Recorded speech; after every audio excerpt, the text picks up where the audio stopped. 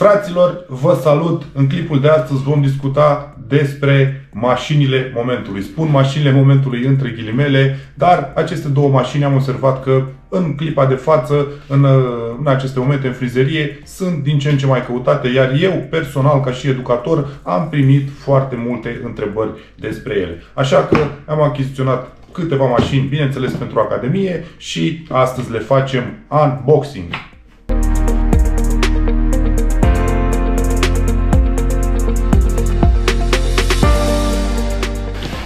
Mai exact este vorba de chepe Preselta și trimmerul minune, să-i putem spune așa, trimmerul de la Chemei. Vom începe prima și prima dată cu mașina de tuns de la Chepe. Este o mașină foarte bună, când spun foarte bună, în primul rând mă raportez la prețul ei. Este o mașină destul de ieftină, eu am achiziționat-o cu 280 de lei, o mașină pe care am observat că foarte mulți lucrători care au o experiență în spate, au foarte multe mașini de tuns, dar de multe ori aleg să o folosească pe aceasta, în special datorită lamei subțiri pe care o are și datorită rotațiilor. Are o tăietură precisă și o tăietură puternică. Bine ambalată într-o cutie destul de interesantă, frumoasă. De conținutul pachetului vine și cu un stand de încărcare, ceea ce mi se pare foarte, foarte, foarte ok. Așa cum am zis, avem standul de încărcare.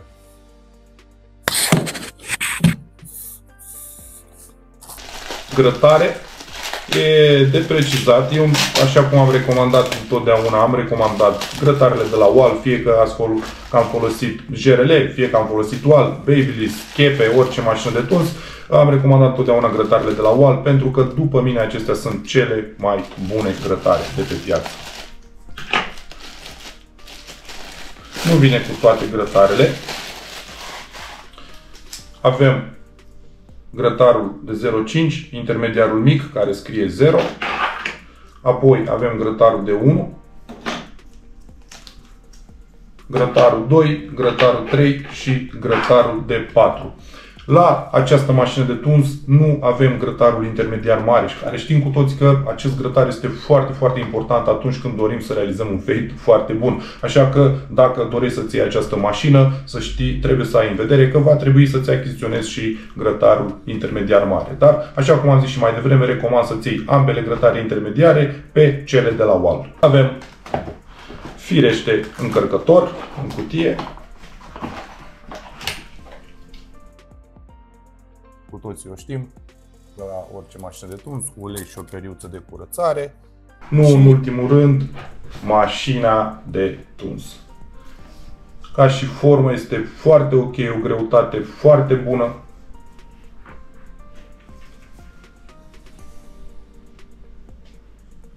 Nu știu exact cum se comportă cei care ați folosit-o mai mult. Poate puteți să îmi lăsați într-un comentariu. Această margine argintie la lumina din salon. În, uh, dacă se reflectă în ochi, dacă te deranjează sau dacă nu.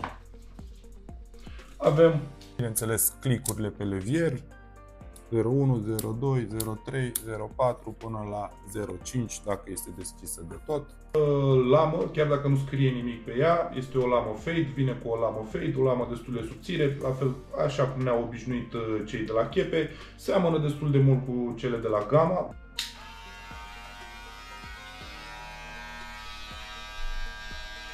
Momentan aceasta se aude destul de bine. Ce am mai observat la această mașină de tuns de pe la foști cursanți pe care au folosit-o sau colegi de mei de, de breaslă după o anumită perioadă, dar nu chiar la toate mașinile de la Chepe, Prescelta mai exact, după o anumită perioadă acestea devin din ce în ce mai gălăgioase. Noi ține foarte mult și de tine cum, cum o îngrijești și cât de mult tuns cu ea. Eu am recomandat întotdeauna la 2-3 tunsori maxim, mașina trebuie să fie unsă, câteva picături de ulei, pentru că ea are rotații destul de mari, are lamele destul de subțiri și este posibil ca acestea să se încingă da. și per total pare o mașină premium, nu pare ceva foarte ieftin, clar nu pare ceva pentru prețul ei, iar ca și tăiere eu o recomand dar ca atunci când tu nu ai un buget foarte mare sau nu îți dorești să îți achiziționezi o mașină destul de scumpă, aceasta este prima opțiune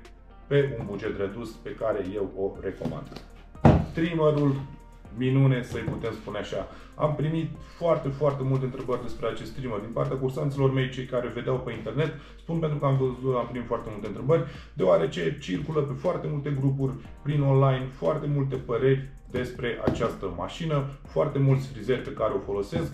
Inițial eram uh, foarte sceptic în privința ei, primeam mereu întrebări, dar până când, uh, în ziua în care un cursant a achiziționat-o, a venit cu ea la curs, iar din curiozitate l-am rugat să mă lase, să o folosesc, să văd exact cum se comportă. Am rămas foarte uimit în momentul în care am pus mâna pe ea și am realizat un contur.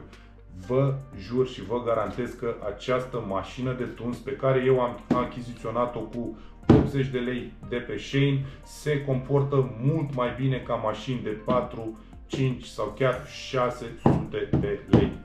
Haideți să vedem cum vine ambalată și ce se află în interiorul cutiei.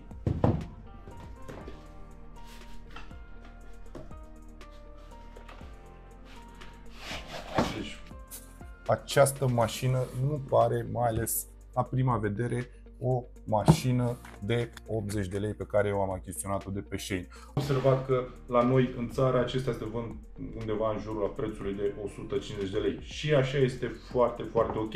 Dacă nu ai răbdare să ți-o comanzi de pe Shane, AliExpress, uh, genul acesta de site-uri și să aștepți în jur de două săptămâni ca ea să-ți vină. Pare o cutie de iPhone.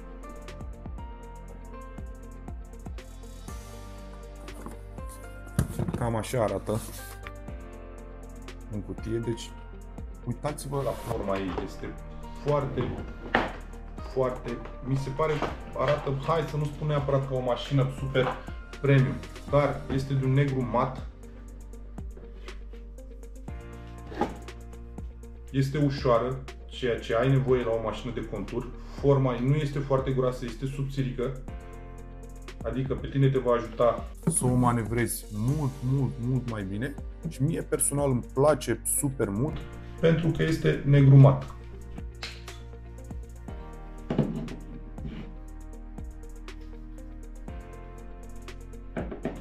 Exact.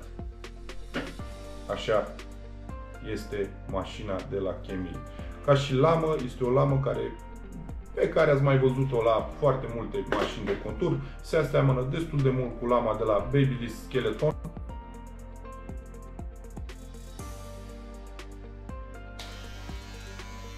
Iar ca și sunet este destul de silențioasă, deci nu face gălăgie. Știm că foarte multe trimere se aud foarte tare sau se aud mai tare datorită rotațiilor pe care acestea le au. Ne oferă acestea în cutia lor.